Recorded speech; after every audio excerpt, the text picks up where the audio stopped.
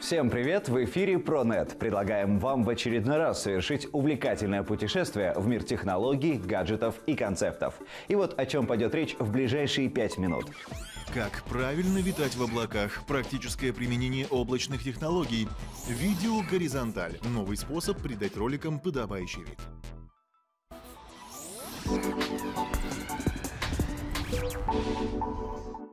Облачные вычисления для подавляющего большинства компьютерных пользователей все еще остаются чем-то далеким и загадочным. Относительную популярность набирают облачные хранилища, такие как Dropbox или SkyDrive. Однако специалисты уверены, будущее именно за удаленными вычислениями, а не пассивным хранением файлов. И наглядно демонстрируют это на примере своих роботизированных разработок. Этого заключенного в пластиковые доспехи робота зовут Amigo. Машина оснащена манипуляторами, похожими на руки, но передвигается на колесах колесах. Amigo на примере действий с пакетом молока демонстрирует возможности проекта RoboEarth. Команда поступает из города Эйнховен на юге Нидерландов, после чего робот Ави входит в больничную палату, сканирует расположение мебели, людей и пакета молока. Далее информация отправляется в облако, обрабатывается и за дело принимается Амиго. Несмотря на то, что робот никогда раньше не был в этом помещении, он прекрасно осведомлен своим коллегой о его рельефе. Это позволяет ему аккуратно взять и поднести молоко к краю кровати. Если в помещении присутствуют люди, это значит, что обстановка все время меняется. Все не так, как на заводе, где вещи постоянно на одном и том же месте. Справляться с такими ситуациями крайне сложно. Поэтому здесь неуместен робот, запрограммированный делать что-то одно. Он должен быть самообучаемым. Проект RoboEarth объединяет несколько технологий. Первое – это библиотека программного кода для управления машинами.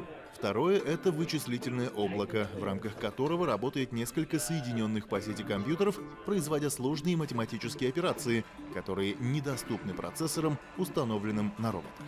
Третий компонент — это коммуникационный канал для передачи и приема команд.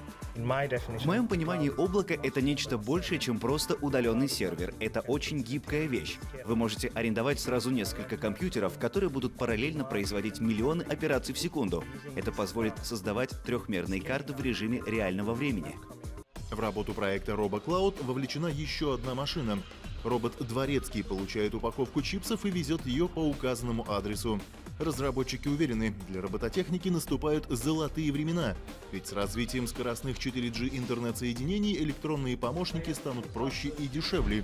Их не нужно будет оснащать дорогими процессорами. Uh, Будущее облачной робототехники выглядит захватывающим, потому что в первую очередь появляются новые стандарты мобильной связи. Например, 4G, при помощи которых можно передавать большие объемы данных, не опасаясь пакетных потерь информации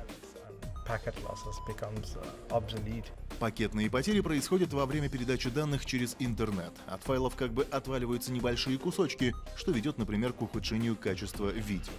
В успех начинания верят не только авторы проекта. Инвесторы голосуют за роботизированное будущее долларом. RoboCloud уже привлек 5 миллионов инвестиций и, похоже, это только начало.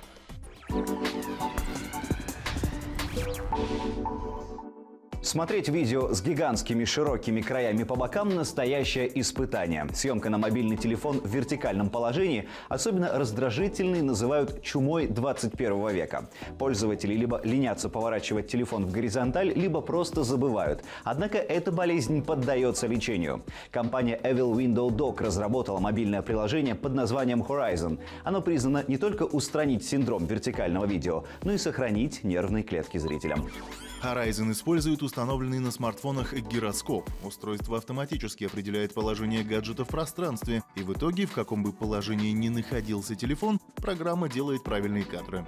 В процессе съемки камеру можно переносить из вертикального в горизонтальный режим, при этом на результате это никак не отразится. Зрители смогут посмотреть видео без какого-либо дискомфорта. Но стоит признать, что такое решение проблемы далеко от идеала. В вертикальном положении угол обзора становится меньше, и к тому же сокращается реальное разрешение картинки. Но если перед пользователем не стоит выбор между качеством видео и удобством съемки, то он очевиден. На сегодня все. Вы смотрели программу ProNet. Все наши выпуски ищите также на сайте канала 24KZ и оставайтесь онлайн.